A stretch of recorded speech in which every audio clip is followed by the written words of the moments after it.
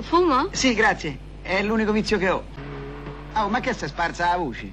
Cosa dice, prego? No, niente. Parlavo da solo.